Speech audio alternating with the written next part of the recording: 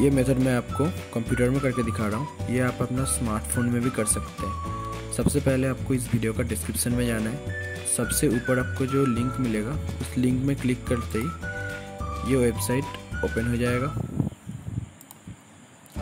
अभी आपको वो वीडियो सिलेक्ट करना है, जिसको आप जीप फ़ाइल में कन्वर्ट करना चाहते हो। एंड उसको ड्रैग करके यहाँ पे ड्रॉप कर देना है। देन यहाँ पे कन्वर्ट टू जीप में क्लिक करना है। अभी सेव जीप फ़ाइल में क्लिक कर देना है।